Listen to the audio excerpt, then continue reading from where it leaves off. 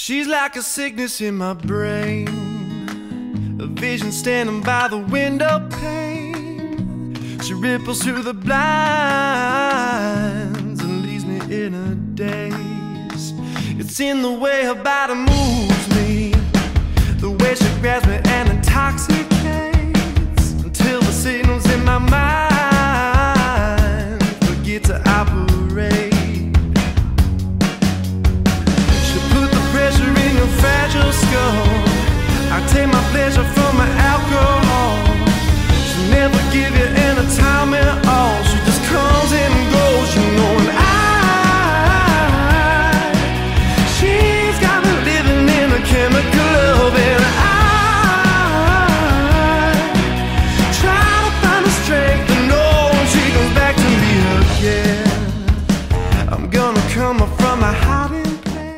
Hello, everybody. Welcome back to my channel, and thank you for joining me for another Coffee and Crime Time. And today, for a change, we have some good news. Lucy Letby is officially the UK's most prolific child serial killer, and she's been sentenced to life in prison without the possibility of parole, which is the most severe punishment under British law. And it puts her in the company of other monsters like herself, such as Rose West and Myra Hindley. And obviously, I say it's good news, not because Lucy Letby is the most prolific child killer in the history of the UK, but because she has that title, which she has uh, very much earned and very much deserves. So, today we're going to go over everything new and sort of wrap Lucy Letby up because she's finally going to face justice for the horrible things she's done. Although she did find a way to disrespect the parents of her victims one last time before the doors of her prison cell closed behind her for good. And we're going to get into all of that. But first, let's have a word from the sponsor of today's video, Surfshark VPN. We already know that Surfshark VPN can provide you a lot of security and peace of mind on the internet, and we are going to talk about that. But first, did you know that you can unlock 15 of the largest Netflix country libraries using Surfshark? Do you remember when we used to be able to watch all of our favorite shows, all of the best shows on Netflix, and we didn't need to pay for 359 other streaming services to do so? So many of my favorite shows left Netflix for other services like Hulu, Peacock, HBO Max, but overseas they're still available on Netflix. The Office is available on Netflix in Canada, Germany, the UK, way more too. Rick and Morty is still on Netflix in the UK, and the same with Schitt's Creek, which broke my heart when it left Netflix because it was one of my go to comfort shows. Like if I'm having a bad day, I'm putting on Schitt's Creek or The Vampire Diaries or Gossip Girl. Luckily, with Surfshark VPN, all you have to do is connect to a server in the country of your choice, and you can get these shows on Netflix once again, like Magic, or being the sole owner of a time machine that only you know about, and also everyone who uses Surfshark VPN also knows about. So you're a part of a time traveling community. But aside from the entertainment value of Surfshark VPN, which is extensive, we can admit, they're also going to work behind the scenes to protect you in that dark and scary place we call the internet.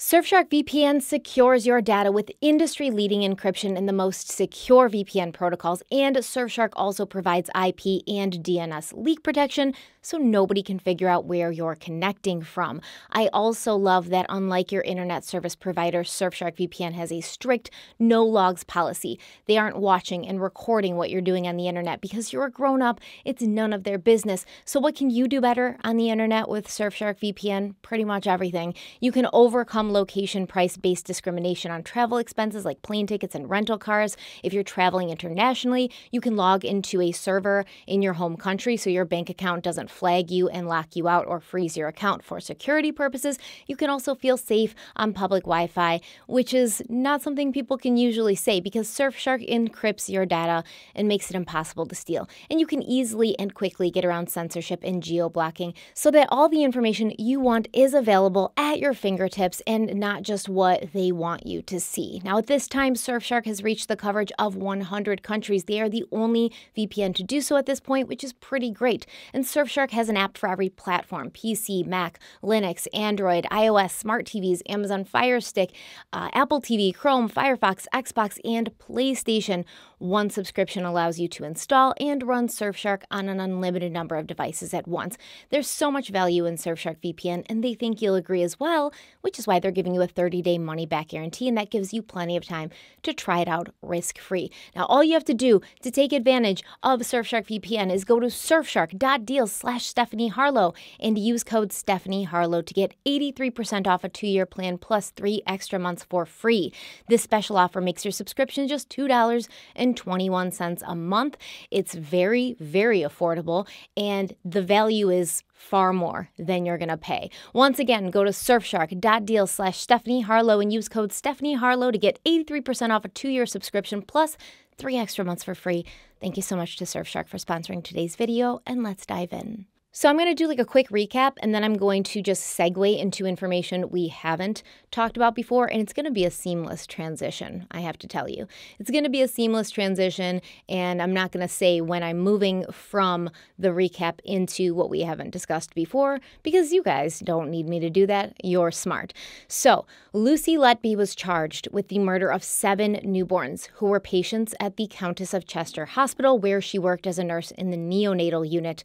She also attempted to take the lives of six more babies before she was finally stopped. Actually, in my opinion, she tried to take the lives of many more babies, but she was only charged with uh, six attempted murders. And all of this happened between 2015 and 2016. Now, keep that in mind because I think it was easy to forget, especially over the last videos we did about Lucy when we talked about each patient that she attacked how short of a time period she operated within, how mentally damaged and deranged you have to be to do all of this but not only that, to do all of it, but to do all of it in such a short time.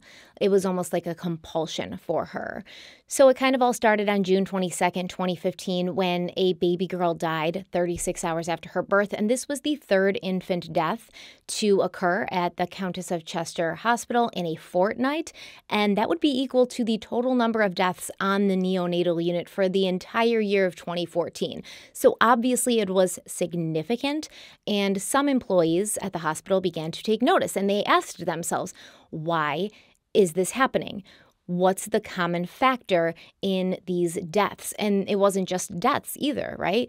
Uh, a lot of babies were also collapsing. They would be perfectly fine, or, you know, maybe they were a little sick because they're premature and they have a low birth rate and they need a little extra TLC, but they were stable and they were doing fine. And then all of a sudden they crashed out of nowhere and no one could figure out why. One of the people who took notice was a pediatric consultant, a doctor at the hospital, Dr. Stephen Breary, and he raised concerns in July of 2015 during a meeting with the director of nursing, Alison Kelly. We're going to talk about Alison too at the end of the video. He also raised his concerns with other senior officials at the hospital, all of which should lose their jobs and not be able to get a job in healthcare ever again. That's just my opinion.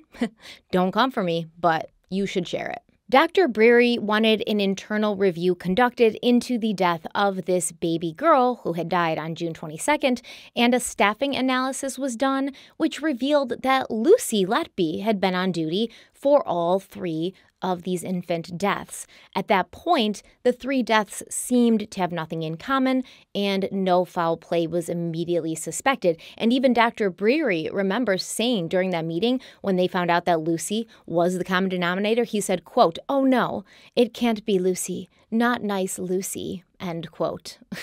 nice Lucy, my ass. On August 5th, the blood sugar levels of a premature baby boy on the unit fell dangerously low, the day after his twin brother had died following an unexpected and unexplained collapse. So that's two babies, twins. One dies. The next day, his twin brother collapses. So, a blood sample from the living twin was sent to Royal Liverpool Hospital for tests. And on August 13th, the test results came back showing an abnormally high level of insulin in the baby's blood, which indicated it was not naturally produced, right? The, your body wouldn't produce insulin in this way. So, the insulin had to have been given to the baby um, by a person. It was synthetic insulin, and that was not part of this baby's treatment. On October 23rd, another premature baby girl died on the unit, and once again, the death of the baby boy in August and the death of the baby girl in October had something in common.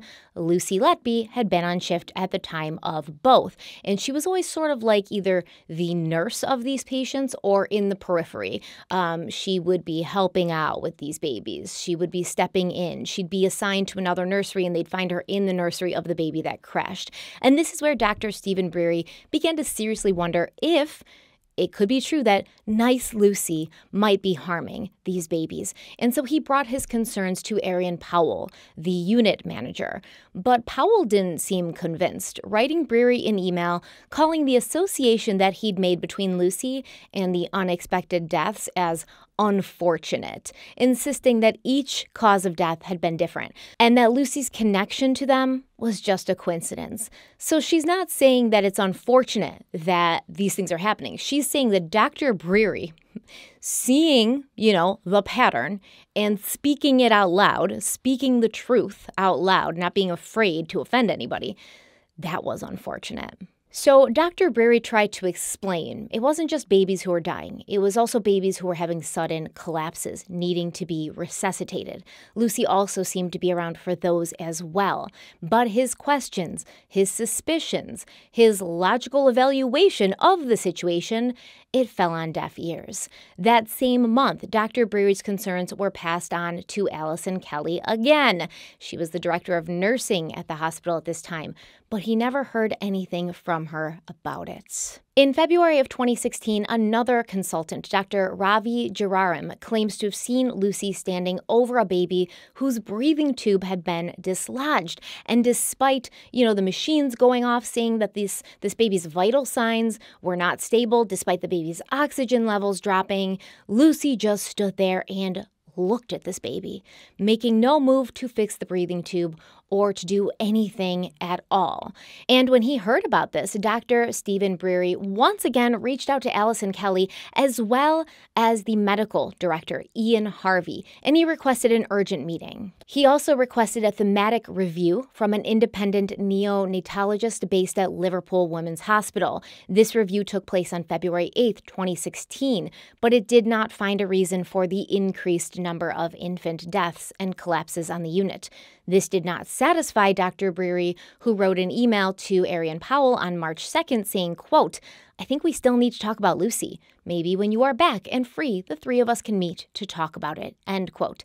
Powell would clearly not share Breary's sense of urgency, and over the next three months, another two babies died. One on April 9th after suffering a hypoglycemic episode at around the same time as his twin brother collapsed and had to be resuscitated. Blood samples were once again sent out, this time from the twin who died, and once again they came back showing very high levels of synthetic insulin, which meant the insulin had been administered to this child in levels that were far too high for his little body and for the fact that he didn't need insulin. His body was producing the normal amount of insulin. That was not a problem for him. In May, Dr. Breary was finally able to get a meeting with Alison Kelly and other senior hospital managers, and during this meeting, he claimed he really was sure now. He had no doubts about his suspicions.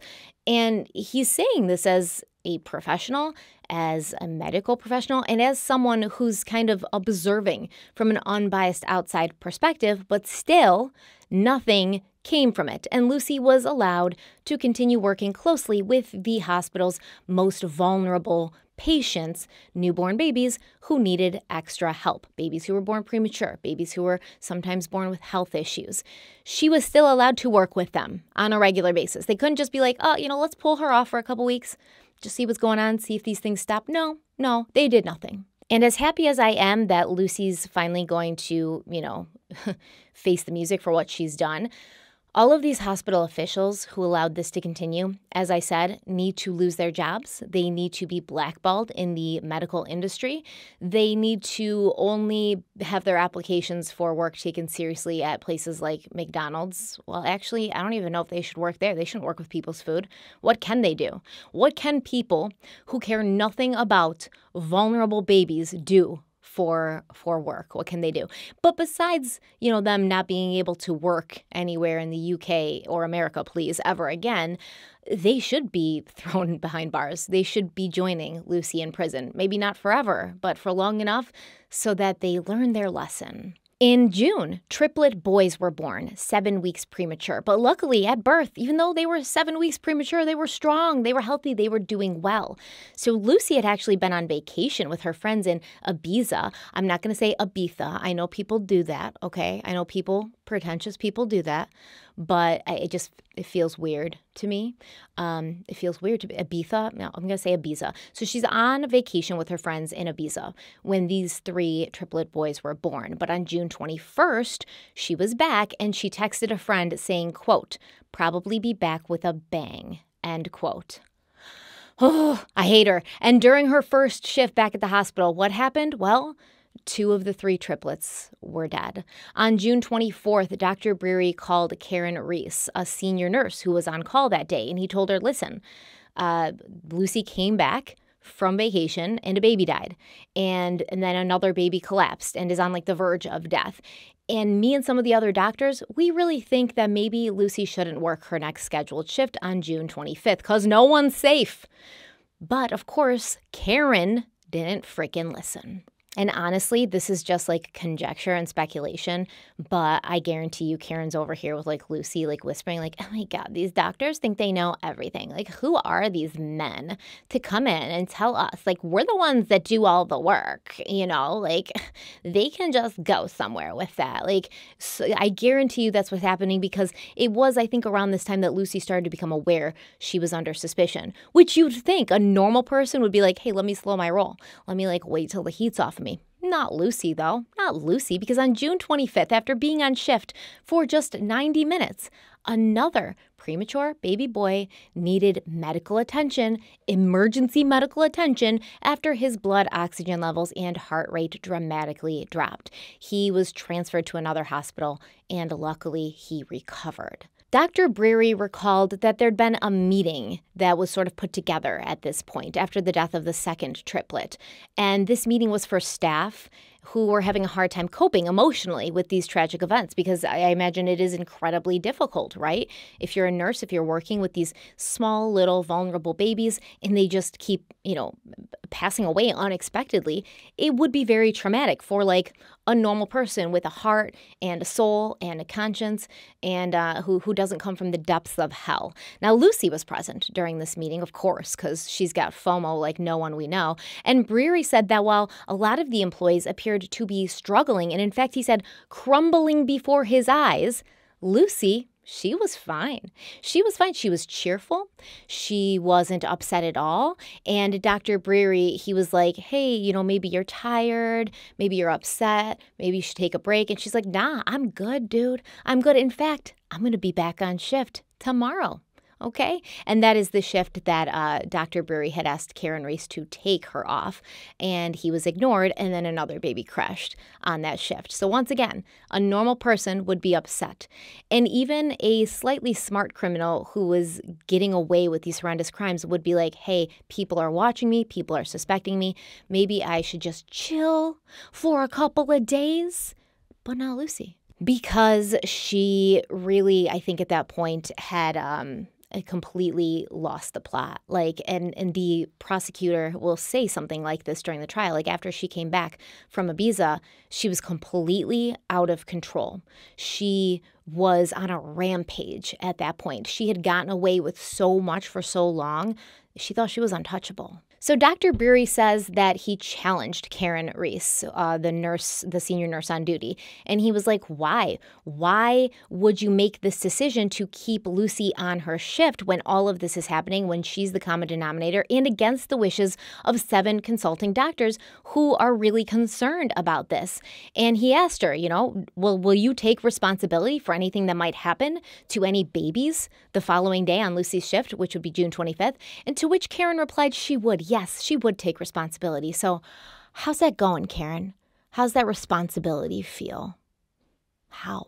How does it feel? How do you feel? After the collapse of another baby the following day, Lucy was still allowed to work three shifts before she was moved from the neonatal unit and placed in an administrative role in the hospital's risk and patient safety office, which um, we also heard during the trial that in this office, she had access not only to confidential patient information, confidential employee information, but also she had access to many of the senior management officials at the hospital who had just done the most up until then to protect her and who were supposed to be evaluating her to see if she was a risk to her patients. And the funny thing was, when Lucy was moved to a different place and taken off the neonatal unit, the unexplained deaths and collapses suddenly ceased altogether. Imagine that. And listen, you may be hoping that I'm going to go into Lucy's side of things, that I'm going to tell you about the defense, the defense that her attorney put up for her, which was basically saying, like, oh, she had nothing to do with this. Um, all of these babies' deaths were due to inadequacies in the hospital, um, shortcomings at the hospital, negligence on the hospital's part. And, like, no doubt, I think we've already, you know, talked about enough to completely agree that the hospital was insanely negligent in in these cases. However, that doesn't mean that Lucy didn't do what she did, right? she was allowed to get away with it by the hospital, so they are also at fault. But it doesn't mean that she didn't do what she did. And clearly, he didn't put up an iota of evidence during the trial to prove that anyone was responsible for these babies' deaths besides Lucy Letby, because, I mean, she's going away for life. Can I get a round of applause for that? Every time I say it, it makes me feel good. So on June 29, 2016, one of the senior doctors wrote an email to hospital managers saying, quote, I believe we need help from outside agencies who can deal with suspicion. At the moment, we are all under suspicion, and the only agency who can investigate all of us, I believe, is the police. End quote. Now, medical director Ian Harvey responded curtly, in my opinion, to this suggestion, writing, quote, it has already been discussed and action is being taken. All emails cease forthwith, end quote, which is basically like, we pulled her off, Babies aren't dying anymore. What do you want us to do about it? Let's stop talking about this. We don't need to talk about this anymore. We're leaving a paper trail. On July 1st, some of the doctors who were in favor of bringing in the police attended a meeting with hospital senior management, during which they were told by the head of corporate affairs and legal services for the hospital, Stephen Cross, that calling the police would be catastrophic for the hospital. It would make them all look bad. Ian Harvey, he did bring in the Royal College of Pediatrics and Child Health to review the neonatal unit. I think it was performative. If you want to know how I feel, I think it was just like, oh, to show he was doing something. But they didn't arrive to the hospital to do this until September of 2016. So we're going on years now, years where Lucy's just walking around free, acting like an idiot. So the RCPCH concluded that a thorough and external independent review of each unexpected neonatal death was recommended. so he brought them in and he's like, do a review, okay? And like, do a review. So we don't have to bring in somebody like independent or like the police. And they came back and they were like, we think you should get an external independent review done. So from July to September, the neonatal services at the Countess of Chester Hospital were reduced by cutting cot space and increasing the gestational age limit for admission from a minimum of 27 weeks to 32 weeks. Basically, this is damage control at this point. Um, they're like, okay, we don't want our nurses to be overwhelmed. And we also, at this moment, don't want to be caring for these especially vulnerable babies who are born super premature at like 27 weeks. So we'll just take them in at 32 weeks when their conditions will be far easier to manage. An email was also sent out to all the nurses on July 15th, letting them know that they would each be undergoing a period of clinical supervision. And the email said that Lucy Letby had agreed to undergo this supervision first on July 18th. So on September 7th, Lucy Letby, in all the glorious audacity that a zero level of self awareness will give you, she filed a formal grievance against her employer after the Royal College of Nursing Union informed her by letting her know that there were allegations of her involvement in the deaths of the babies. And like I said, there'd already been rumors, there'd already been gossip. She already knew that she was sort of like under the microscope. On October 16th, Dr. Stephen Breary contacted a woman named Dr. Jane Hawdon. She's a premature baby specialist in London, and he asked her to review the case notes of the babies who had died on the neonatal unit. Hawdon recommended that four of these deaths be forensically investigated, but guess what? They never were. In early January 2017, Ian Harvey, the hospital's director, he presented the findings of all of these reviews to the hospital board. Now, we know that both reviews had recommended further investigation, an external review of at least some of the deaths, but that is allegedly not what Ian Harvey told the board. Okay, so according to the BBC.com, quote, records of the meeting show Mr. Harvey saying the reviews concluded the problems with the neonatal unit were down to leadership and timely intervention, end quote. So instead of telling the board, which I get it. Like, I don't get it, but I understand why he wouldn't be like super upfront with the board because the board makes all the decisions for the hospital, especially when it comes to like funding.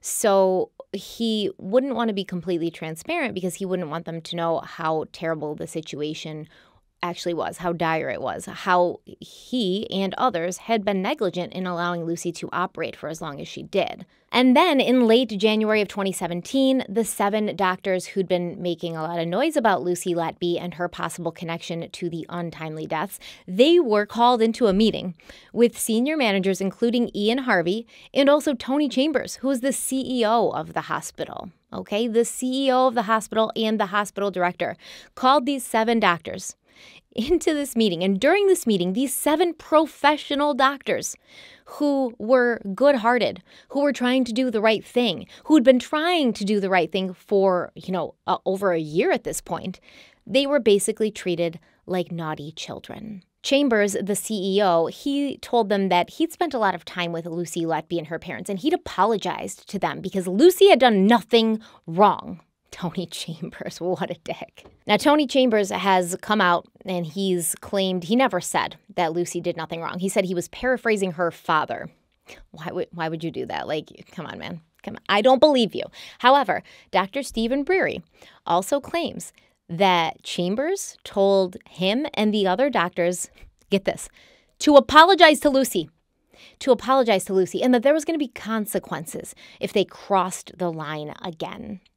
These doctors were forced to send Lucy emails telling her they were very sorry for the stress and upset that she had experienced the last year. Can you imagine? Can you literally imagine, like, this can't be real? This cannot be real because by this point, these people, these hospital um, officials, these upper level management of this hospital, they're smart, right? They have to be. They have to be college educated. They they found these positions or they found themselves in these positions somehow. They have to be qualified in some way, right? They have to have at least two brain cells to rub together to make a spark.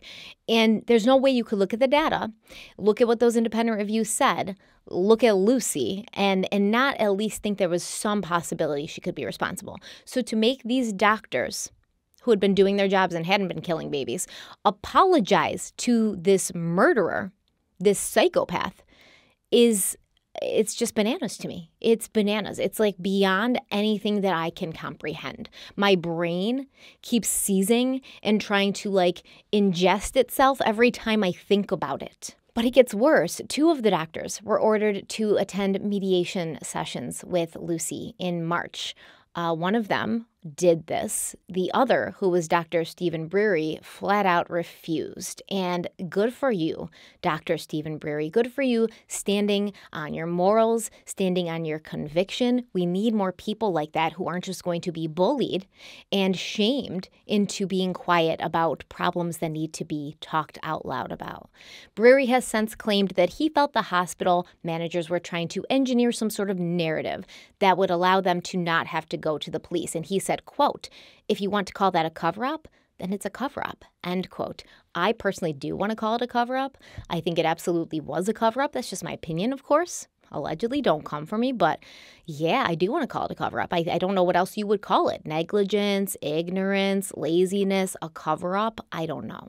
Luckily, Stephen Breary and the others, they did not back down. After they typed out their forced little emails, they didn't shut up. They didn't smile and look pretty to keep little nice Lucy from being hurt and upset and offended. They kept pushing. And by April, the police had been informed of what was going on at Countess of Chester Hospital. Now, when police sat down with Dr. Breary and Dr. Jerram, they were told that the deaths and the collapses had stopped once Lucy was removed from the neonatal unit. And at that point, Operation Hummingbird was launched. Detectives went through hundreds of hours of shift timetables, finding that only one person had been on shift at the time of each tragedy and that was Lucy Letby. Detective Superintendent Paul Hughes said, quote, she was the thread running through them all. End quote. And Detective Hughes also said, like, listen, I talked to the parents of these children and I told them I was going to get to the bottom of it. I was going to find out who had hurt their children. And for Hughes, it wasn't a matter of trying to save face for a hospital that he was employed by. It wasn't a matter of, you know, being threatened or bullied to fall in line. This is his job. He made a promise to these parents and he did not care where the evidence led him. On May 18th, 2017, the Cheshire Police announced announced that they were launching an investigation into the deaths and collapses at the hospital, and they would be focusing specifically on eight deaths with a review of seven other deaths and six non fatal collapses. On July 3rd, 2018, Lucy Letby was arrested for the first time at her home on Westbourne Road in Chester. She would be arrested an additional two more times. And not only did the police search Lucy's house, but they also searched the home of her parents in Hereford and her new office at the hospital. And at that time, the police also announced that the investigation had broadened to 17 deaths and 15 non fatal collapses. During their searches, law enforcement uncovered many incriminating pieces of evidence, including a green post it note inside a 2016 diary. And on the post it note, Lucy had scribbled the words, I am evil. I did this. I killed them on purpose because I'm not good enough. End quote. Another post it note, this one yellow, had words scribbled over every available inch, almost as if somebody who was in a manic and psychotic state had scratched them into the post it note. And this post it note included the words, I'm sorry that you couldn't have a chance at life, and also the word help written in all capital letters. Is that what you imagined your patients who were newborn babies and couldn't speak or ask for help were screaming in their heads as you tortured them? Lucy? Detectives also found 257 confidential medical documents in Lucy's possession, including handover and resuscitation sheets, as well as blood gas readings, and most of these were all hidden away in plastic bags. And then I remember something Lucy said during the trial. She was like, Oh, I, I just like to collect paper. What the fuck? What?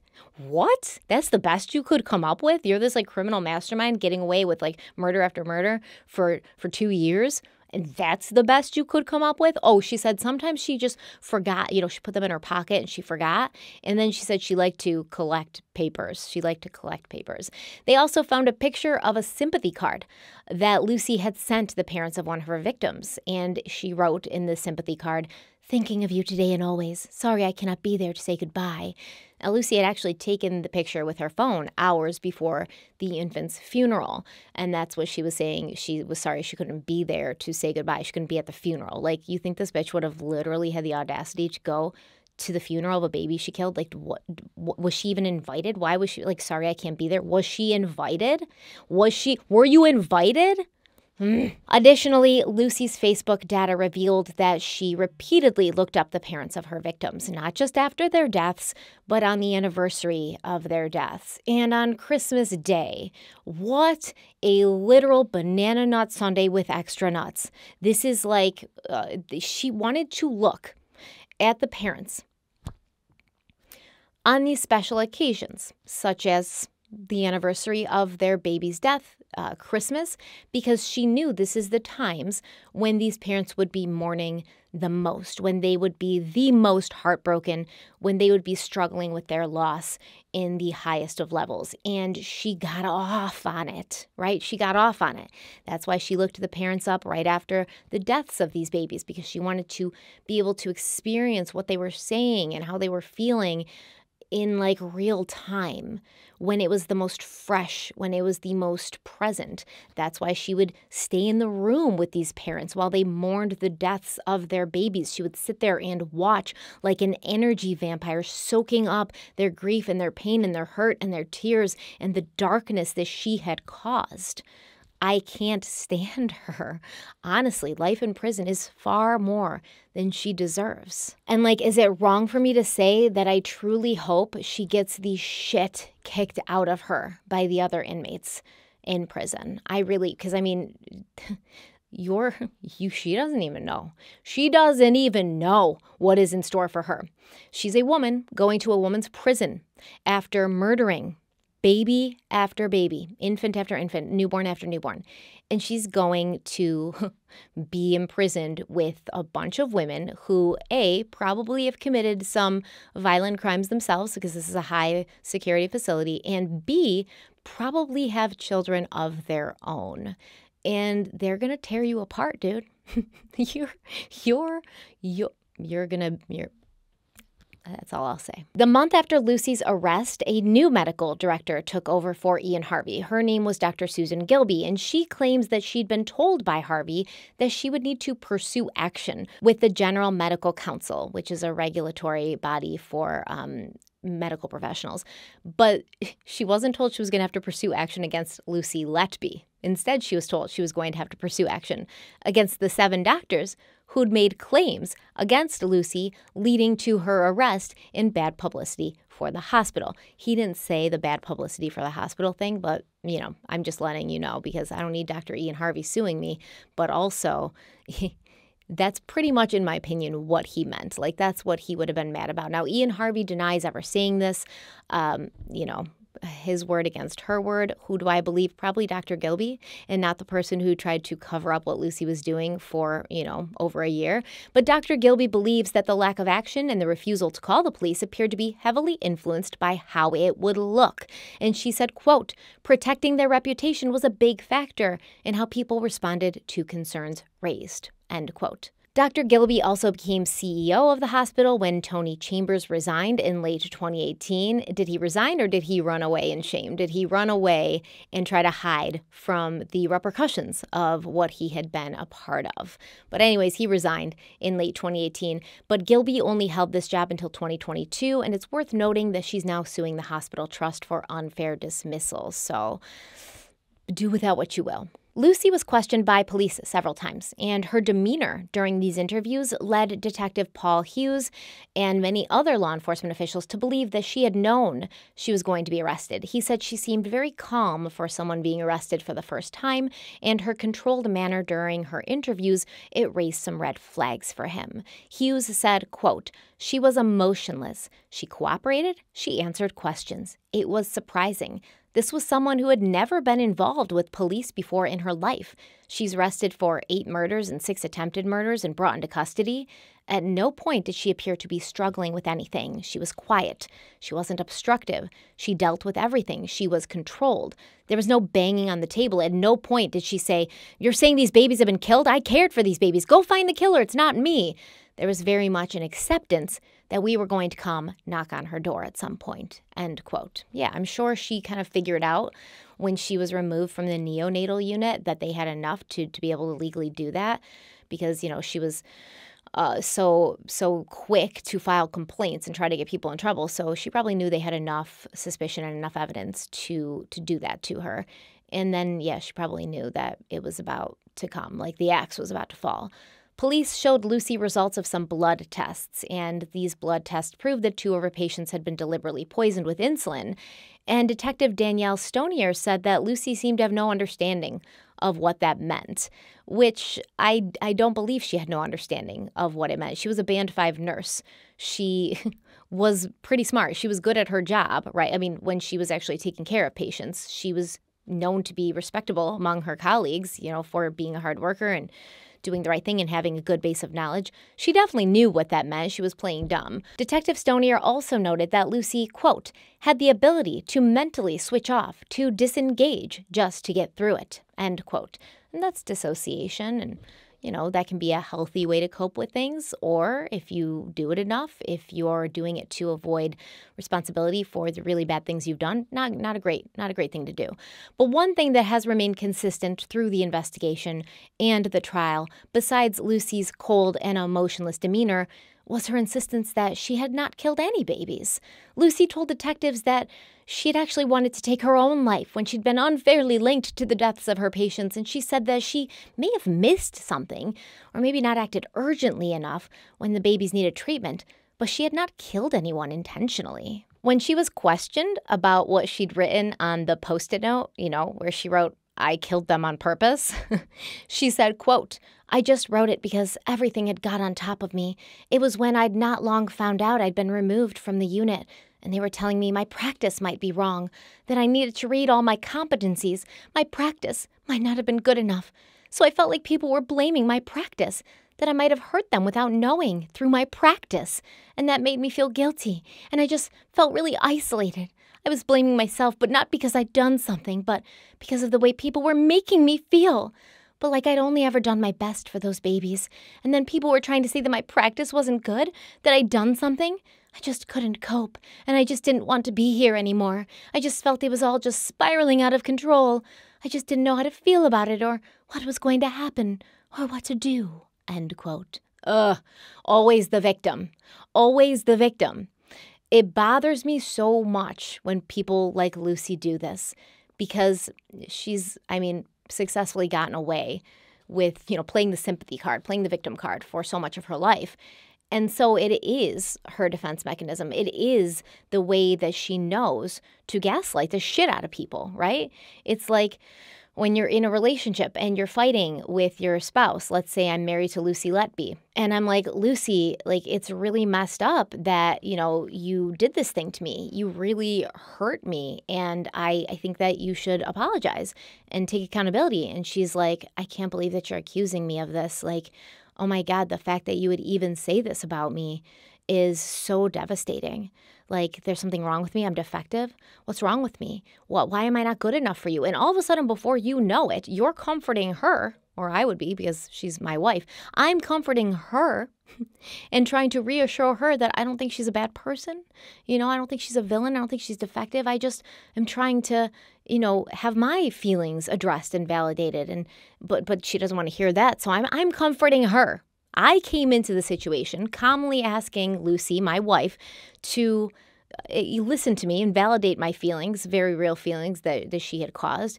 And she in a blink of an eye, had turned it around and made herself be the person who was victimized, who was feeling attacked. And it's it's really tragic to see because I do believe that this is something she probably used throughout her entire life and it probably worked for her. But in the trial, when you're faced with all of the evidence, it doesn't work for her. It didn't work for her. Now, Lucy Letby would be charged with seven murders and 15 attempted murders. She would be found guilty of all seven murders, but only of six attempted murders. And last week, after a Manchester Crown Court deliberated for 22 days, Lucy Letby was sentenced to life in prison. However, for someone who was trained in giving medicine, she certainly couldn't take her own. And she decided to refuse to be present in person at her sentencing hearing. She decided to take away the last chance of the parents of her victims to have some closure. She decided to not give the parents of her victims a chance to face her and let her know the chaos, the suffering, the pain, and the trauma that she'd brought into their lives. So here's the judge on Lucy's trial, Justice James Goss, um, reading out her sentencing and kind of just telling her what he thinks of her. Let's watch this together. I have to sentence her in her absence. I shall deliver the sentencing remarks as if she was present to hear them, and I direct that she is provided with a transcript of my remarks and copies of the victim personal statements read to the court. So Justice Goss is saying, you know, Lucy's not there, but he's going to make sure that what he's saying, as well as what the parents of the victims are saying, their victim impact statements are going to be like printed out and delivered to Lucy in her cell. Do we think that she's going to read them? No. But what she will do is maybe put them in like a plastic bag under her bed because she likes to collect paper. Let's continue. Lucy Letby, over a period of almost 13 months between June 2015 and June 2016, when in your mid 20s and employed as a neonatal nurse in the Countess of Chester Hospital in Chester with specialist training in intensive care, you murdered seven babies and attempted to murder six others. In the case of one of them, trying on separate occasions, two weeks apart, to murder her. You are now to be sentenced for your crimes. I order payment of the statutory surcharge in the appropriate amount. You acted in a way that was completely contrary to the normal human instincts of nurturing and caring for babies, and in gross breach of the trust that all citizens place in those who work in the medical and caring professions. The babies you harmed were born prematurely, and some were at risk of not surviving. But in each case, you deliberately harmed them, intending to kill them. In your evidence, you said that hurting a baby is completely against everything that being a nurse is, as indeed it should be. You also claimed you never did anything that was meant to hurt a baby, and only ever did your best to care for them. That was but one of the many lies you were found to have told in this case. I love it because he's not mincing words. You know, he's like, we we saw the evidence, we heard the evidence, the jury saw and heard the evidence, and they found you guilty, right?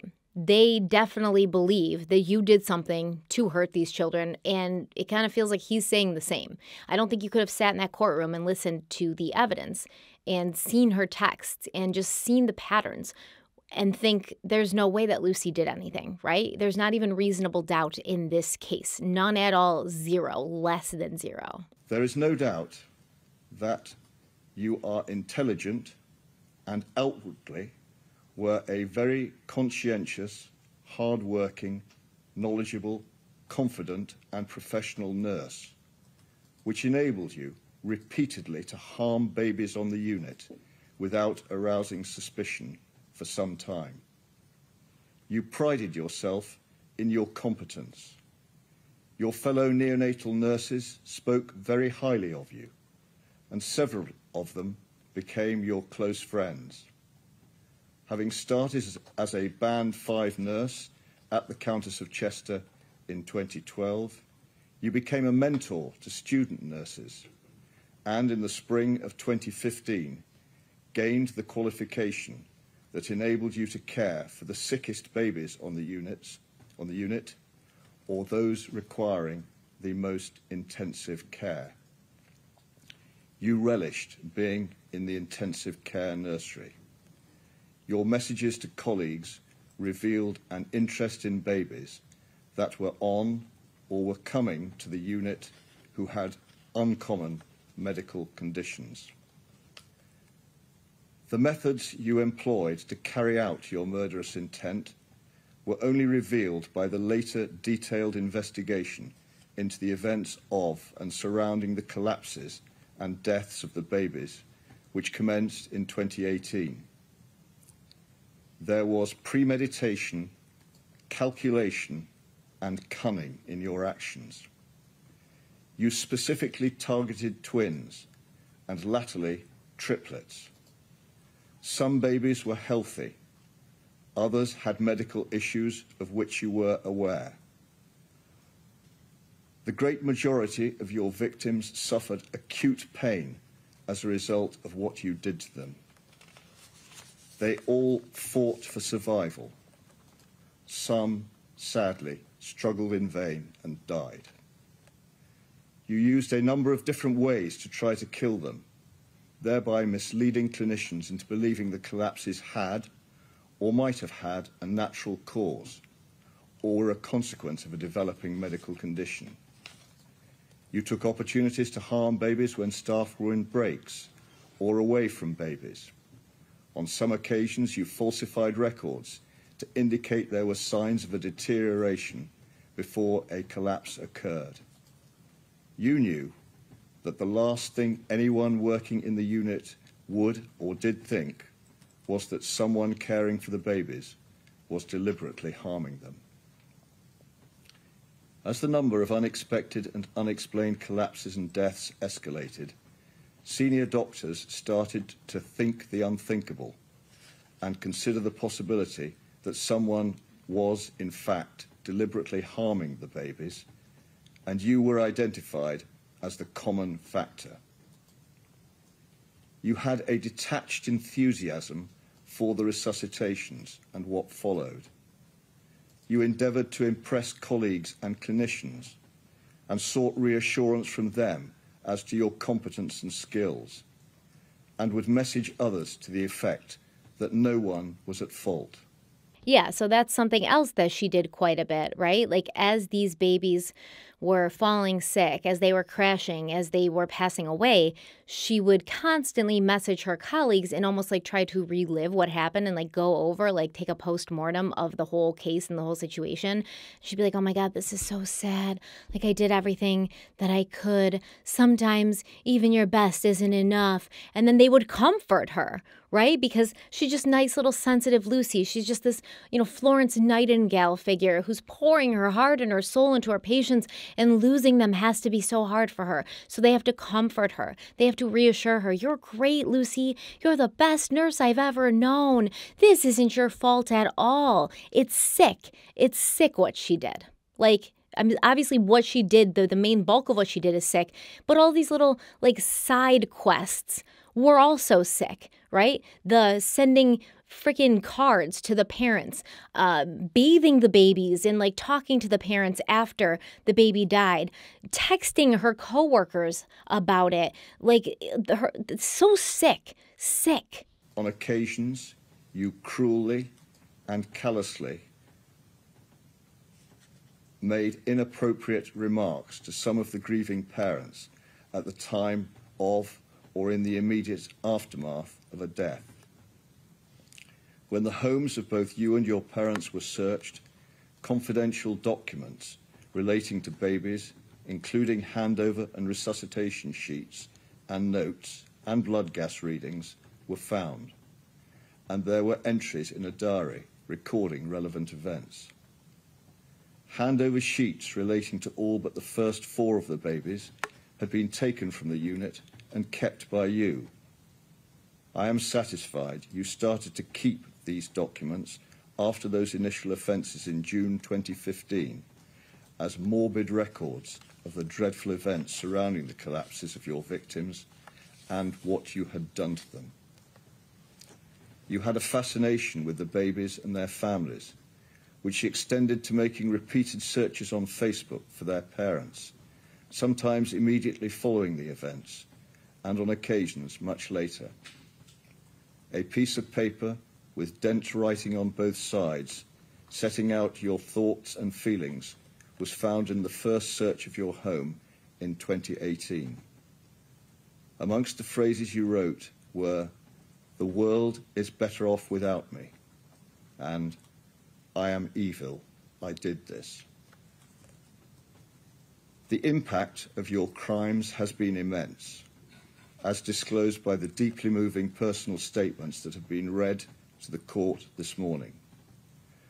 The lives of newborn or relatively newborn babies were ended almost as soon as they began, and lifelong harm has been caused, all in horrific circumstances. Loving parents have been robbed of their cherished children, and others have to live with the physical and mental consequences of your actions.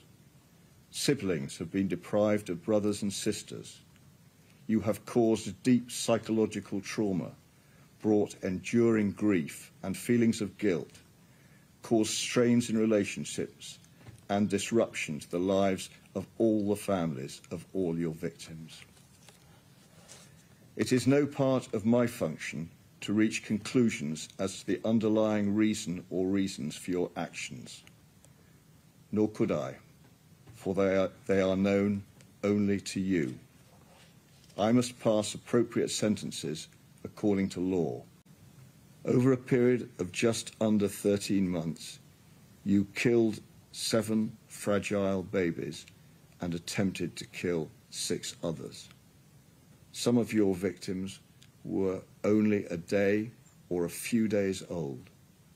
All were extremely vulnerable. They were in a hospital where others were striving to provide them with dedicated medical and nursing care. By their nature and number, such murders and attempted murders by a neonatal nurse entrusted to care for them are offences of very exceptional seriousness. The damaging impact of your actions on others working at that hospital, including those who numbered you as a friend, betraying their trust and creating upset and suspicion, as well as eroding confidence in clinicians and nurses generally, aggravates their seriousness. This was a cruel, calculated, and cynical campaign of child murder involving the smallest and most vulnerable of children, knowing that your actions were causing significant physical suffering and would cause untold mental suffering.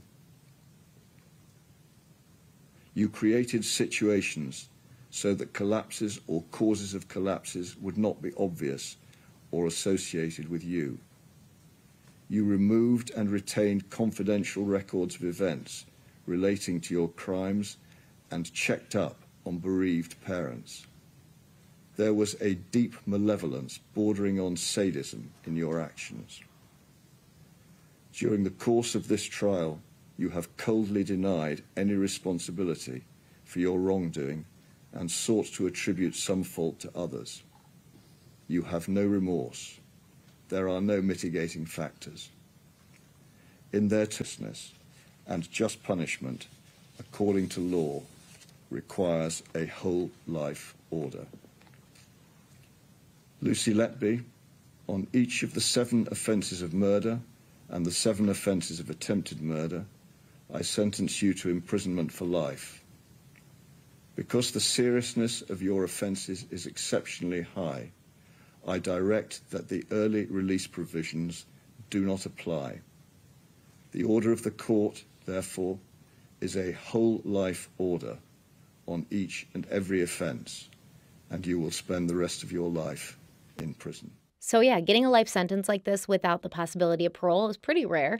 Um, in the UK, they it is the strictest sentence because they don't have the death sentence. So I think like I said, exactly what she deserved. It's more than she deserved. Okay, she she does deserve to um, be on death row, if you ask me. But even though Lucy was not there to hear them, the parents of her victims, who'd been in the courtroom every day throughout this entire ordeal, they stood and they gave their impact statements. One mother said, quote, I don't think we'll ever get over the fact that our daughter was tortured until she had no fight left in her, and everything she went through over her short life was deliberately done by someone who was supposed to protect her and help her come home where she belonged end quote another parent said quote the anger and the hatred i have towards her will never go away it has destroyed me as a man and as a father End quote. The father of a set of twins murdered by Lucy said, quote, There is no sentence that will ever compare to the excruciating agony that we have suffered as a consequence of your actions. At least now there's no debate that, in your own words, you killed them on purpose. You are evil. You did this. End quote. And another mother said, quote, You thought it was your right to play God with our children's lives. You thought you could enter our lives and turn them upside down, but you will never win. We hope you live a very long life and spend every day suffering for what you've done. End quote. The mother of baby E told the court that she still felt anger when she thought of the fact that she had to grieve the loss of her child in front of Lucy Letby and other members of the neonatal unit. She was given no privacy to do this. And then her child was buried in a gown that had been a gift to her from the unit and the gown was hand chosen by Lucy. She said, quote, "We were robbed of our precious time with our baby after they died. We were denied the opportunity to spend private moments with our child, having to grieve openly in the presence of Lucy and the neonatal unit staff at Nursery 1. Lucy bathed the child, an action I deeply regret, and dressed the child in a woolen gown. The child was buried in that gown, a gift from the unit chosen by Lucy. I felt sickened by the choice we made. Not a single day passes without distress over this decision. End quote. Can you imagine? You find out the person who killed your baby is also the one who bathed them, dressed them for their burial, like in in the whole time reliving the the thrill that they got from taking your child's life. I can't even. I can't. I cannot. This mother also said that at first Lucy presented as kind and soft-spoken, but now she realizes it was all an act, saying, quote, "The lies that she has told filled me with anger. The trial felt like a platform for Lucy to relive her crimes. She's repeatedly disrespected my child's memory." End quote. And I do think in a way the trial was a, a little enjoyable for Lucy in, in some ways, um, that she probably enjoyed having her her actions, her trophies broadcast for so many people and, and she could hear them again because she didn't show any emotion. She didn't cry when the prosecution talked about what she'd done to these babies. Another parent stated angrily, quote, Lucy Letby to think that you could get any kind of gratification from inflicting pain on my child and from watching our suffering in the aftermath goes against everything that I believe to be human. I'm so horrified that someone so evil exists. To you, our child's life was just collateral damage. End quote. And the parents of baby O and P, both killed by Lucy, revealed how traumatized they were that the murderous nurse had been the last person to hold one of their children. The father said, quote, I now hate that Lucy Letby was the last person to hold my child. As time went on, around a year after the children's first anniversary, I was still struggling to come to terms with their deaths, and so I turned to alcohol. I had not really drunk excessively before. I could see how much this was all hurting my wife. I hid how much alcohol I was consuming.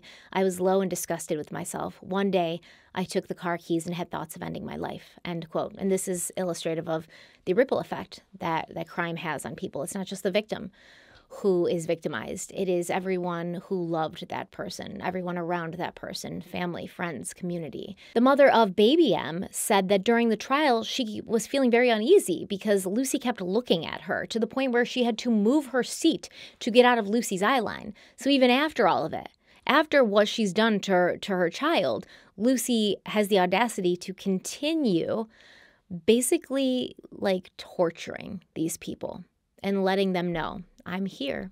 Your child's not, but I'm here. I'm looking at you.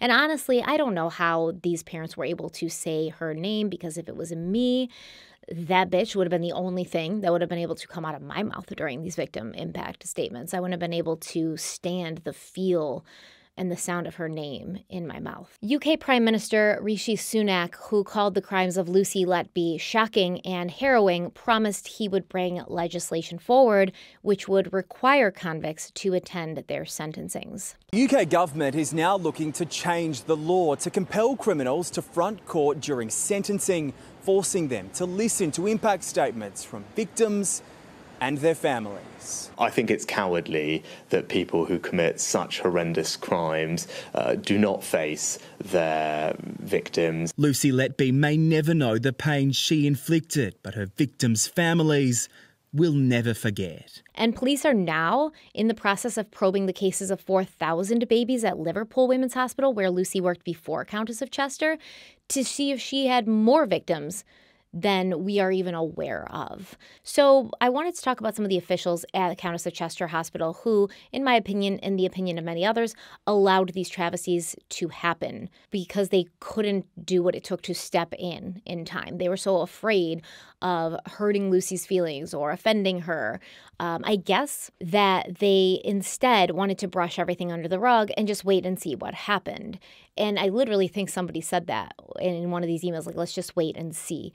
And I guess there'd been like a ton of like anti bullying training and stuff happening at the hospital. So some people think that it might have been as a result of that. Like everybody is so afraid of just you know, telling it like it is, of being honest, because everyone's so easily offended and everyone's so overly sensitive nowadays. And they would rather just keep the peace and have things like between staff run smoothly rather than actually stand up and say, like, no, this isn't right. This doesn't make sense. It's clear what's happening here. Let's stop it. Okay, so let's start with Tony Chambers. Tony Chambers was the CEO of the Countess of Chester NHS Foundation at the time of Letby's killing spree. He he has said he was first told of serious concerns about the nurse in late June 2016 after she murdered her final two victims, two triplet boys, within 24 hours of each. Chambers said he took prompt action upon learning of these concerns, moving Letby off the neonatal unit, even though he was told at the time that she was an enthusiastic, capable, and committed nurse. In January 2017, he decided that Letby should be allowed to return to the neonatal unit based on two external reviews that executives felt exonerated her of any wrongdoing. However, these reviews were not set up to investigate whether Letby had harmed the babies, and both concluded that several unexplained deaths required further forensic investigation. Despite this, he ordered the senior doctors to apologize to her for raising concerns that she was harming babies in her care.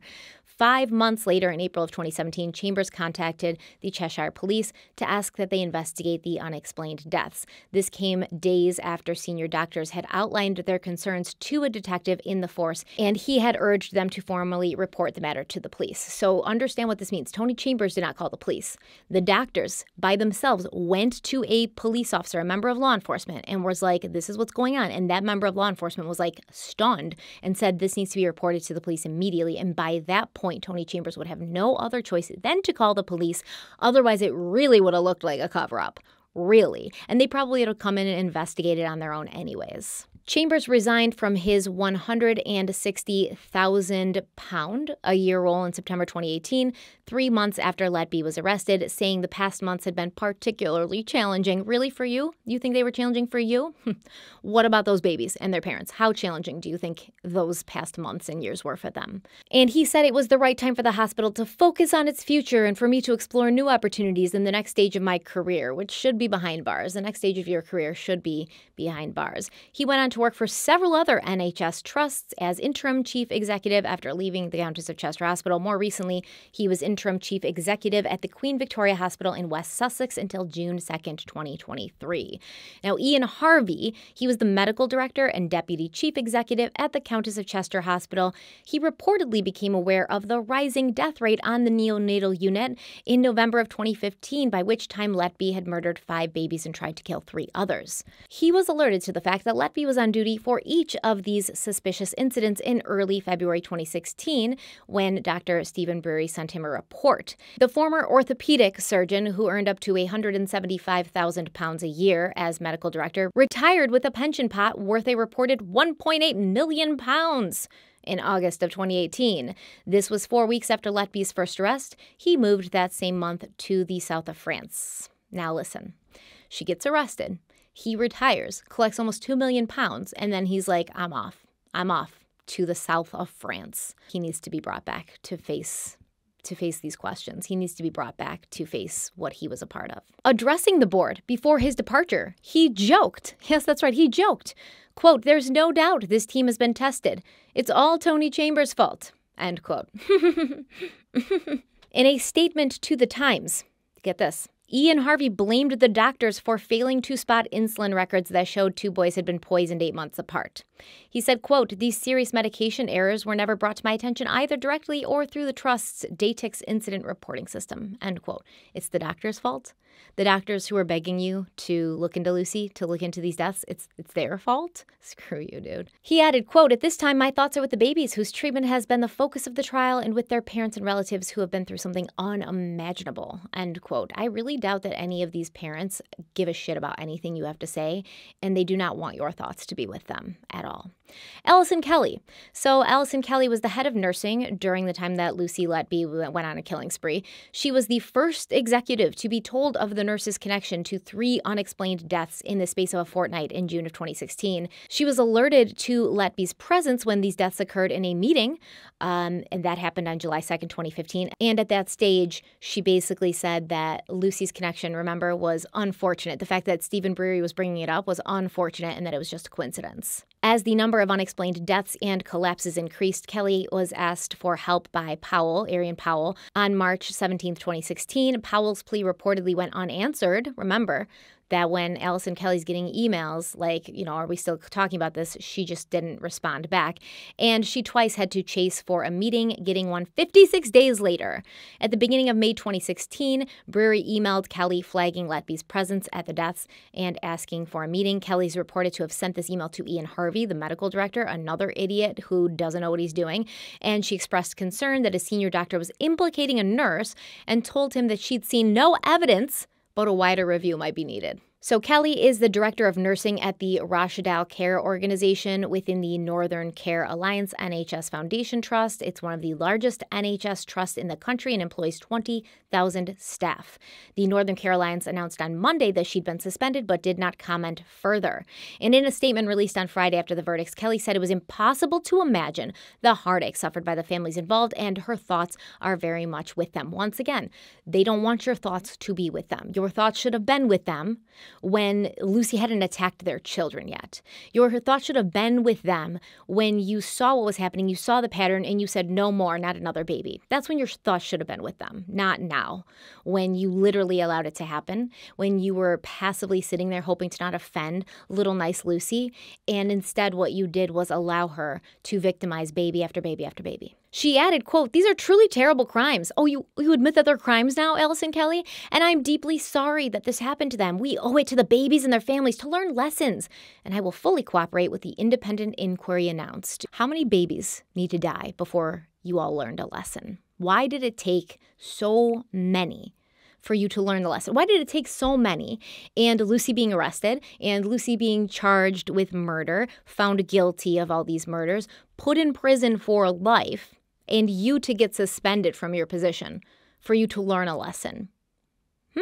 Why? Now we have Karen Moore, and during the video I referred to her as Karen Rees. That's what she was then. She's now Karen Moore. She was the one who refused to take Lucy Letby off of her shift after the deaths of two babies within 24 hours. Moore, who now lives on a farm in Wales, said she was completely unaware of any complaints. What? about Letby before June 24, 2016, the day Letby's final murder victim, an identical triplet, was killed. Letby had murdered his brother the previous day. Moore has said that as soon as Breary and another consultant came to her with concerns, she notified Kelly, the then director of nursing. Now, get this Stephen Breary testified at trial that when he went to Karen and asked her to remove Lucy Letby from her shift, Moore said that she was familiar with the concerns already, or he said that he approached her because she was familiar with the concerns already. So she's saying she had no idea, and he's saying no, she was aware. So Karen Moore left the trust in 2018 and now runs a holiday rental near her home in Denbighshire, North Wales. She said she was taking legal advice about the allegations. She refused to act on warnings about Letby. You should. You should get a lawyer. Get a lawyer. Stephen Cross was the hospital's director of legal services and head of corporate affairs. He was the one who, in that meeting, was like, We're not going to call the police because it's going to make us all look bad, right? He has been accused by senior doctors of putting the trust reputation above patient safety. Two consultant pediatricians told The Guardian that Cross said contacting the police would be terrible for the hospital and that it would turn the neonatal unit into a crime scene. He allegedly made the remarks in July 2016 when senior doctors first suggested contacting the police. The force was not briefed until almost a year later in May of 2017. Now, The Guardian, where I'm reading this information from, they've made repeated attempts to contact Cross. A family member who answered the telephone at his home in Chester refused to comment and disconnected the call, and a relative has told other journalists that Cross has nothing to say nothing to say. You can run, Stephen Cross. You can run. You can run like uh, other dude did to the south of France. You can just run away from your problems, but you cannot hide forever, and you will have to answer for this. And this is the worst part. Stephen Cross, do you know what he did? Do you know what he did before he became legal counsel? for the trust, he was a police officer. I mean, slap in the face upon slap in the face at this point. And yes, they say there's going to be an investigation into the people behind this, into what they did, into what they didn't do, but it doesn't bring those babies back. So we are left with the question of why. Why would Lucy Letby do this? Why would anyone do this? Detective Chief Inspector Paul Hughes told People magazine that Letby's motives remain unclear. And he said, quote, Ultimately, the only person that can answer that in respect to why is Lucy Letby herself.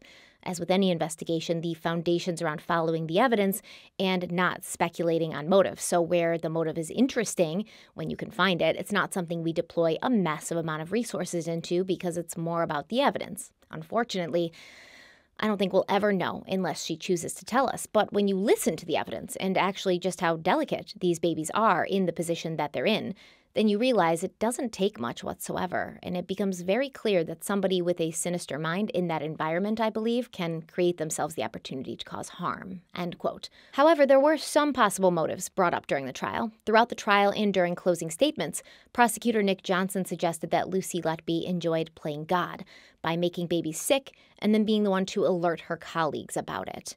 Referring to the final baby she murdered, Johnson explained how she had killed baby O the day before she killed his brother, baby P, and a post mortem revealed fresh blood in his stomach and damage to his liver, and this was blamed on an intravenous air embolism. The day after she attacked uh, baby O, she attacked baby P, and the decision was made to send this baby to a different hospital after he crashed in the morning. Now, a doctor was on the scene, a doctor who came and rushed to the baby to, you know, hopefully save him. She was hopeful that once the infant was moved to a facility that had better resources to handle babies who are in more critical condition, she was hopeful that he would recover. And this doctor heard Lucy make the remark, quote, He's not leaving here alive, is he? End quote. And Lucy's ominous prediction would come true. And before the baby could get the help he desperately needed, he was dead by 4 p.m. that same day after Lucy moved his breathing tube and did a plethora of other horrendous things to him. Lucy claimed she couldn't remember having that conversation or making that remark, but Nick Johnson told the jury, quote, "Ladies and gentlemen, she did say it, but why did she say it?" There's only one answer because she knew the end game. She knew what was going to happen. She was controlling things. She was enjoying what was going on and happily predicting what she knew was going to happen. End quote. But there may have been another reason that Lucy would have wanted to make a baby sick that morning because when babies crash in the neonatal unit, doctors have to respond. And that leads us to our next motive that Lucy wanted to get the attention of a married doctor who worked in the hospital that she not only had quite a large crush on, but it appears she was also having an active relationship with him that continued even after she was removed from the neonatal unit, even after suspicions and allegations started coming out against her. Lucy and Dr. A, as he's referred to during the trial, because he doesn't have the balls to say it with his chest, he doesn't have the balls to stand in front of everybody with his face and his name and admit what he took part in. They would message each other all day long. He called her sweetie, and they exchanged heart emojis. They even met up several times outside of work for meals and dates. They traveled to London together once, and there was a second second trip planned that never happened because Lucy got arrested.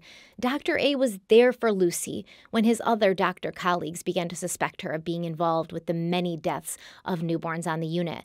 And when she complained to him about this unfair treatment, he texted her, quote, No more doubt. It's not you. It's the babies. This motherfucker really was blaming the babies. Serenity now. He continues and says, You are one of the few nurses in the region and I've worked pretty much everywhere, that I would trust with my own children, end quote. I'm sure he's rethinking that statement. I'm sure his wife is rethinking um, the the entire relationship that she had with him. Like, not only are you sleeping with this this nurse but now you're telling her even after she's being accused of killing newborn babies that you would trust your own children with her our children like i'm thinking as his wife like our children what so yeah of course this man did put some distance between himself and lucy at the start of 2018 when she was being actively investigated and this apparently caused a great deal of emotional trauma to lucy because when dr a home was searched investigators found a scribbled note to him from lucy and in this note she declared her love for him, writing, quote, My best friend, love, I loved you, and I think you knew that. I trusted you with everything. I wanted you to stand by me, but you didn't. End quote. so dramatic.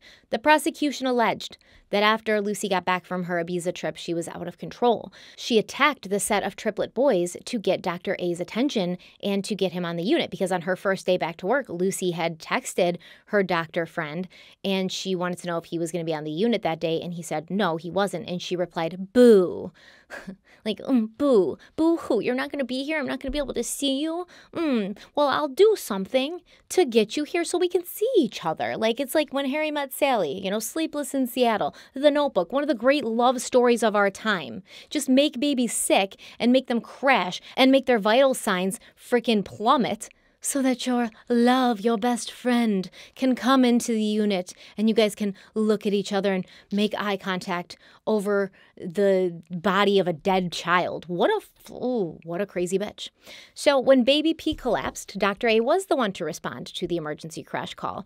And Nick Johnson asked Lucy during the trial, quote, "Did you enjoy being in these crisis situations with Dr. A? Did it give you something to talk about and message about?" End quote. And I really do. I think this is a pretty good motive because things like that, right? Trauma like that, going through something like that, it can bond two people. If you go through something like that, like consistently, it can bond two people. And she was, yeah, they were probably like, talking about it after, and she was asking him to reassure her that she had done nothing wrong. And she's like, I just feel so guilty. And he's like, Don't feel guilty. Do you want me to bring my children over so that you can take care of them and see that I have trust in you and, and have your self confidence revitalized? Ugh. Lucy claimed that she and the good doctor were just close friends. There was nothing romantic going on between them, even though, like, then the note you sent him, I loved you. I think you know that. I loved you, my best friend. Um, that doesn't make any sense. That's not how I would talk to one of my friends who is of the opposite sex, but okay. She definitely, there's definitely something going on. And it's interesting because a lot of people who were in the courtroom that day made note of this. When Dr. A testified against Lucy, behind a curtain to protect his identity, of course, because he's a pussy, she visibly and emotionally reacted. And this was only the second time during the trial that she'd shown a hint of feeling anything, okay? So throughout the testimony of baby after baby that she'd hurt or killed, Lucy sat there stone faced, not shedding a tear, not betraying a single thing.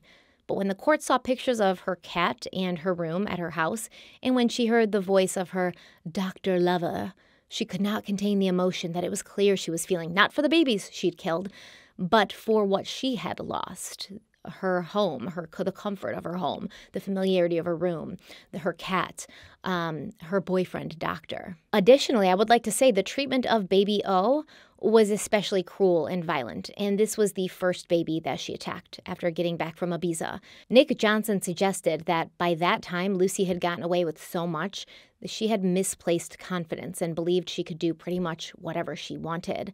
Dr. Andreas Marnerides, an expert in neonatal pathology, told the jury during the trial that bruising found on Baby O's liver was due to intentionally inflicted trauma, an impact injury the force of which was akin to him being in a car accident. So not only did Lucy kill babies by injecting air, into their bloodstream by overfeeding them, by giving them insulin that they didn't need it looks like she also physically abused them. And Nick Johnson told the jury that Lucy had combined three of her known methods to kill this baby. She used overfeeding, injection of air, and assault. And the next day, she began to inflict the same torture on his brother, baby P. And that's the thing to keep in mind, right? These newborn babies were fighting for their lives, and she didn't kill them quickly. They did not go peacefully. They suffered in extreme pain for the last hours of their incredibly short lives. Their incredibly short lives were filled with nothing but pain and torment. That is all they knew from the moment they were born. And Lucy did that. Um, when people who are watching Les Letby throughout this showing just when they harrowing details of what was done to these children, and a really crucial point that the judge had made, which I think is one of the most terrible things about this is that he used the word sadistic or sadism, is that actually these babies were caused uh, terrible pain. Injecting oxygen into a baby causes it terrible, terrible pain. One, one's only hope would be that these babies didn't feel anything in their few hours, few days of their lives, that they, they didn't end in pain. But but they did, which is which is even worse and compounding horror for the parents. But the Nurse Letby was Lucy Letby was just completely blank faced, appeared to just take you know no emotion. The only time she showed emotion was a picture of her cat in her bedroom. And, and also when there was conversations with a doctor who she claimed had a crush on and, and may have been motivated to get his attention uh, uh, by, by, by killing these babies. What does that tell you about her? Look, she undoubtedly was born a psychopath. You know, if we t- look at all these psychiatric conditions being part nature, part nurture, very rarely is someone born, uh, they call it born evil. Okay, so born a psychopath. She has no conscience. She has no emotions as we understand them. Um, no remorse, no guilt, uh, nothing it's it's like it's it's a sort of strange blank slate. And she, I think, was someone who, hiding in plain sight, quite ordinary looking girl. She tried out various things in her life to see how they felt. You know, she had good friends, she had a close family, you know, she had a lot of support. Nothing was really driving her. It's really hard to get our heads around mm. what pure psychopathy is like. But she found her purpose. Yeah. And her purpose was either by joining nursing and going into neonatal nursing specifically, or by ending up there and and killing these babies. This was her mission. Zero empathy. She found something she got. It, it definitely sadistic, sadistic pleasure she got, a, she got a kick from it. She got a kick from the power. We're talking about this. That, that thing, the word psychopath is a word that I haven't seen bandied around about this woman. We clearly these are psychopathic traits. This uh, the narcissism, the absolute lack of concern for for for the babies, although professed it, but also that I remember hearing one one analyst who'd been in court saying, you know, she she won either way. If the babies survived. Um, you know, she was the hero nurse. If the babies didn't survive, poor Lucy battling to save a baby's life and being there and how traumatic it must be when you care for these little babies. And, and it was it was all about her. And, and the, all about her. Yeah, and this is a worry for, I suppose, and we know some of the parents who gave testimony in court with their, their impact, victim impact statements, they were saying that um, they, they, the lack of trust they now feel because you, this lovely lady who was kind to them, and as one mum said, you know, she chose the she chose the gown that my baby is buried in. when she's the person who killed my baby. I mean, just horrific, horrific revelations like that. That the the person they thought was caring for their baby, keeping their baby safe, the person they thought it was comforting them was the person who'd done this to their baby and done this to them. How how do you ever trust again if if the you know angel faced nice nurse has done you so much harm. How can we trust anybody if they can hide in plain sight like this? Look, it's incredibly rare to have that level of sadistic psychopathy. It really, really is. I hate people to think this was in any way commonplace. So that's one thing to take away from it. But yes, part of her sadism, um, and that's a form of psychopathology, she carried on following up with these parents. You say she chose the gown. Yeah. She sent them condolences notes. Yeah. She virtually stalked these people after killing their babies. She was addicted to that behavior. And now, behind bars, what will happen, as would happen with the other rare occurrences of these psychopaths, like Beverley Allitt and so on, they don't discuss it again. It will never be talked about. She has now disassociated herself from what she has done. In fact, she never really related to it. Another theory of why Lucy did this was because she was bored. During the trial, Lucy told everyone, shamelessly, I would say, that as a Band 5 nurse, she was qualified to treat very sick babies in the ICU, and she craved patients that would allow her to do that, to, would allow her to flex her skills. When she was not working with very compromised babies, Lucy admitted finding her work less stimulating. And she would text her friends and her colleagues while she was with these babies, supposedly taking care of them, and she would say she was bored. She wished she was in the ICU with a more interesting case. Senior nurse Catherine Calderbank told the jury that Lucy told her it was boring to just feed babies, and quote, if anything was going on with the nursery one, you would find she would migrate there, as we all do, to go and help. She would definitely end up in nursery one to assist. It was more that we were worried for Lucy's mental health because it can be upsetting, emotional, and sometimes exhausting as well at the end of the shift if you're constantly put in that stress situation all the time. End quote. And this nurse is saying that's why they didn't put her in the ICU all the time. Uh, room one is the ICU, where the most fragile.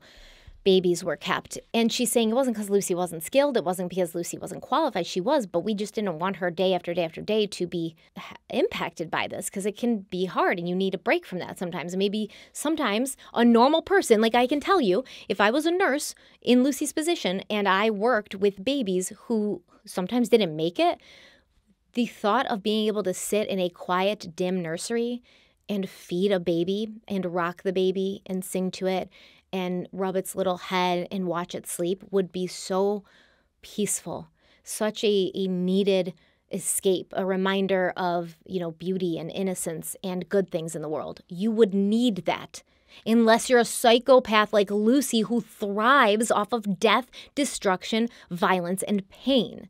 Because it wasn't upsetting for Lucy to be around these babies that were dying. In fact, it seemed to give her life and energy, which brings us to the next motive that Lucy simply just enjoyed doing this to babies. Patients and nurses alike reported that Lucy would act unusual when the baby's health started to decline, and Baby I's parents told the police that they remembered Lucy being so cheerful after their child died walking around, smiling, chatting, telling them how she was so grateful that she'd been there for their child's first bath.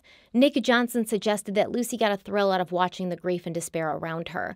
She kept trophies of her victims, like a serial killer. She sent sympathy cards to their parents. She sat on Facebook and looked up her victims' parents like an addict. She talked about the babies and their illnesses or their deaths with her colleagues as if she was trying to relive them over and over again and drain every last bit of attention and dopamine that their deaths had given her.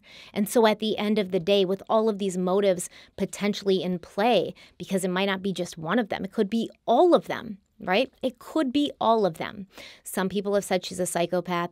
Some people have said she's a narcissist. She could have tendencies of narcissism. She could have psychopathic tendencies we could look back in her childhood and say what happened to her. You know, I know everybody always wants to find an excuse for why people do horrible things. Looks like Lucy had a pretty good childhood, right? Born to two parents who loved her, doted upon her. She was an only child. They gave her everything she could ever want, including their attention and their love. They were always there for her. They supported her. They were proud of her achievements. For her whole life, it looked like she was middle to upper class. Uh, she got an education. She didn't have any real struggles in life that, that I could find. And the most that that anybody ever said was that Lucy felt her parents were a little bit like overbearing, you know, like a little um, too clingy. Like they always wanted to make sure they knew where she was. That she was. They were worried about her living alone. They didn't like her living far away from home things like that, you know. But besides that, there nothing happened to her. Nothing happened to her. Sometimes people are just not right. Sometimes people are just irreparably broken and damaged, and there's no abuse or trauma that you can highlight in their past to give them an excuse or a justification for why they did what they did. And I believe Lucy Letby is one of those people. And I honestly believe a lot more people are like that than we really can admit because we always look in the past and we always look at their childhood to find something that will explain why they are this evil, why they're they're this horrible. Because it makes us feel better, I think, to find a reason, to find an excuse, to find something to point to and say, ah, there it is, that's why, rather than to just understand and believe and know that that there are evil people in the world, that there are people born into this world who do horrible things, who hurt other people for no other reason than they just get a kick out of it or they felt like it. And that's where I think Lucy lies. I think she was trying to get the attention of Dr. A. I think she was trying to gain his admiration, his respect. I think she was trying to create a false bond, a manufactured bond with him. I think she was trying to get attention from her friends, her coworkers. I think she was getting off on it. I think she enjoyed it. I think she really did. I think that's why she kept those uh, documents from the hospital so she could look at them, relive it like a serial killer with trophies.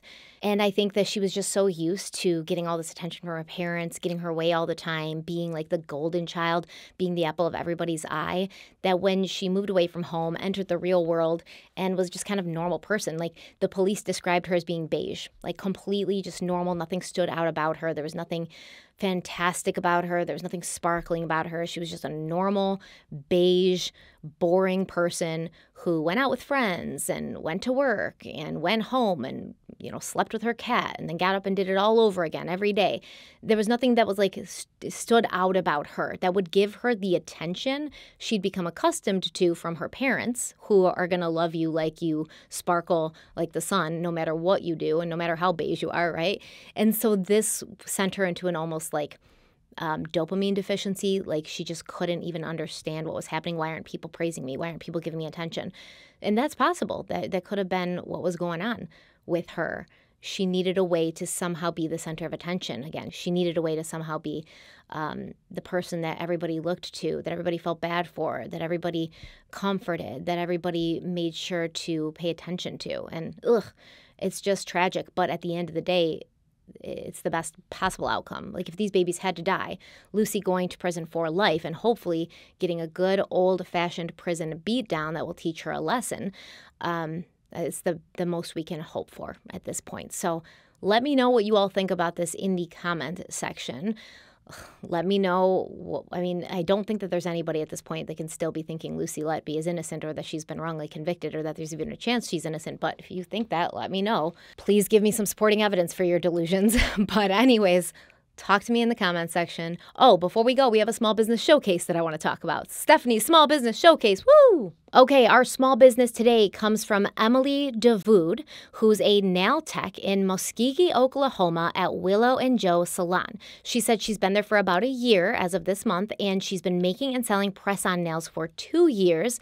She hadn't had a lot of good luck on Etsy, which is very common because there's so many shops on Etsy. So she took her Etsy shop down, and now she takes orders through Instagram and Facebook as well as from clients in the salon.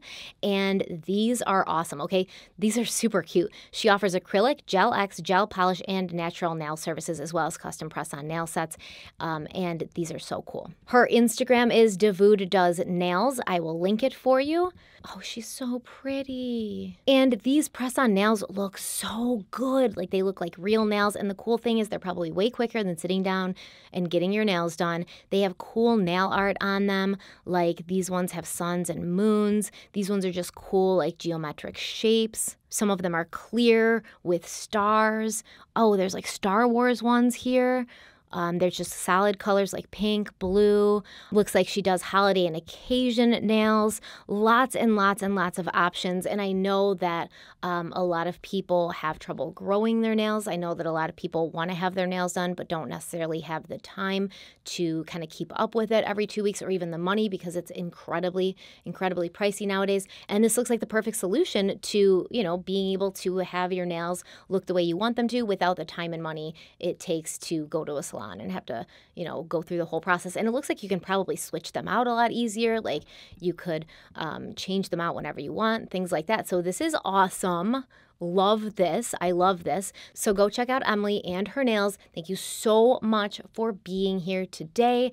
Don't forget to like the video if you liked it, share it if you think it's worth sharing, and as always, subscribe if you haven't because there's so many people who are, you know, watching the video that aren't subscribed. But if you're coming back and it's your second, third video, subscribe, okay? And don't forget to tell me what you think about all of this in the comment section. Thank you so much for being here today with me. Stay kind, stay beautiful, stay safe, and I'll see you very, very soon. Bye.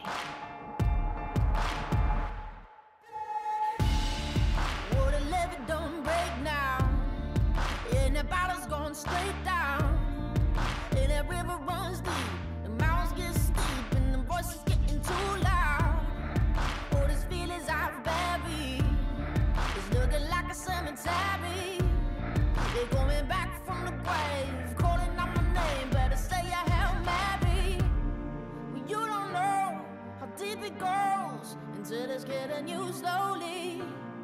So you got to let it go. I got blood, blood on the strings.